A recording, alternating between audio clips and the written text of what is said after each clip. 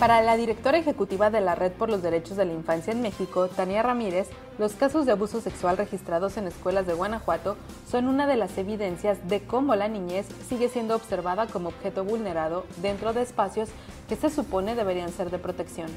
La académica y activista precisó que estos casos deben ameritar que la autoridad educativa genere una respuesta enérgica en acciones y no solo en un mensaje de cero tolerancia.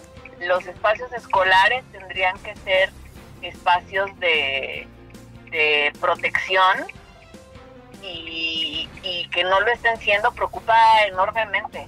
Eh, acá lo que tendría que suceder, por supuesto, es que la autoridad educativa genere eh, una respuesta que puede ser, que puede y debe ser incluso de un mensaje pues de cero tolerancia. Justo el viernes pasado, en San Miguel de Allende, se reportó un presunto abuso hacia un alumno, motivando que padres y madres de familia de la escuela primaria José María Morelos se manifestaran preocupados ante la denuncia. Fue la Sociedad de Padres de Familia la que acusó al director de la institución, Ángel Sánchez Reta, de haber atentado contra un alumno, por lo que fue denunciado ante el Ministerio Público y la Secretaría de Educación de Guanajuato.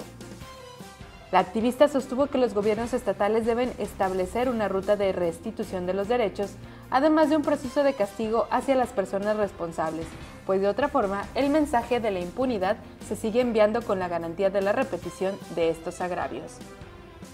Con información de Alfonsina Ávila para Zona Franca.